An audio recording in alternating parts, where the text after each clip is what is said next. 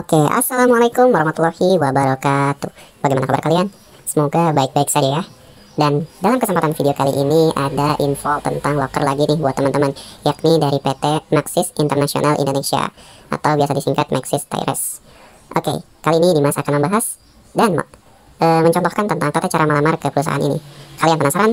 Kalau penasaran pasti Dimas akan memberitahukannya Tapi sebelum itu, yuk simak dulu video berikut ini Asyik!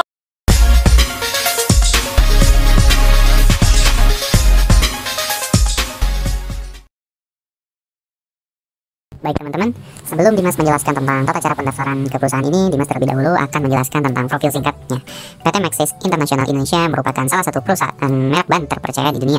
Perusahaan yang berdiri pada tahun 1967, ini sudah memproduksi merek ban yang dipasarkan hingga 180 negara. Saat ini perusahaan ban nomor 10 di dunia ini sedang membuka locker untuk menunjang kebutuhan produksinya. Nah, oke, okay, tanpa basa-basi, tanpa lama-lama, yuk Dimas akan memberitahukan tentang tata cara pendaftarannya. Nah, di sini teman-teman disuruhkan untuk apa? Mengisi email teman-teman, misalkan seperti ini ya. Nah, seperti itu teman-teman. Lalu di sini posisi yang teman-teman lamar. Untuk operator ini minimal untuk SMK atau SMK sederajat ya. Dan untuk staff untuk diploma ke atas ataupun sarjana ya teman-teman. Maka dari itu kalau teman-teman yang baru lulusan SMK, teman-teman bisa pilih operator. Oke, kita klik saja berikutnya ya. Nah, setelah itu teman-teman akan dialihkan pada pada kolom pada kolom pendaftaran berikutnya. Nah, di sini dijelaskan posisi operator selain dari posisi yang menandai dengan bintang, klik bintang status adalah talent pool. Nah, di sini teman-teman sebagai contoh klik saja produksi ya. Nah, kemudian di sini teman-teman diwajibkan untuk mengisi identitas teman-teman. Misalkan nomor KTP teman-teman, tulis seperti ini ya. Seperti itu, kemudian nama lengkap teman-teman. Isikan juga dengan baik dan juga dengan jujur. Kemudian teman-teman diberitahukan tentang domisili teman-teman. Misalkan yang lain. Kota Bandung. Misalkan kota Bandung ini juga sama ya. Oh maaf.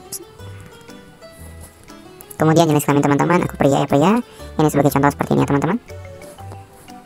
Hmm, nah, Kemudian teman-teman ditanyakan tentang agama, Dimas Islam, klik saja Islam, kemudian status pernikahan, Dimas masih lajang, tinggi badan teman-teman juga isikan dengan jujur ya. Misalkan Dimas ini sekitar 168, berat badan sekitar 58, nomor telepon teman-teman juga isikan 181, 2222, 368, 8,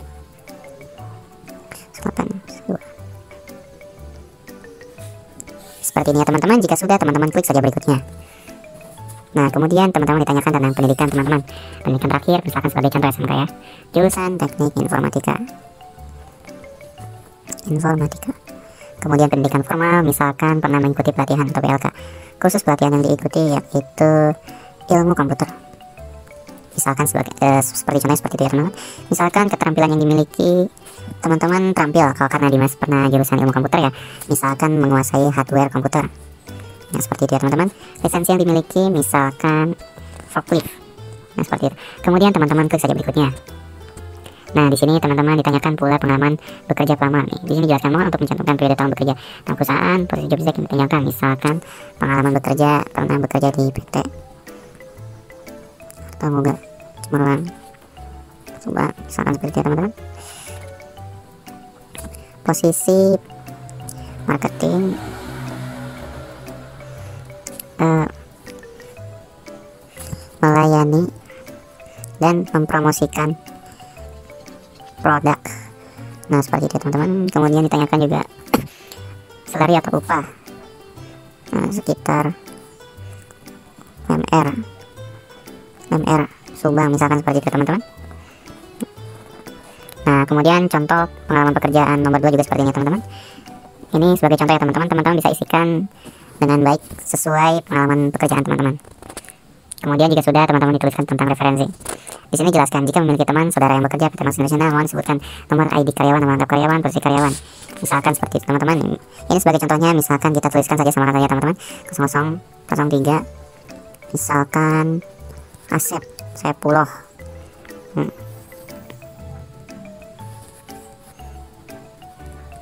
Misalkan seperti itu teman-teman.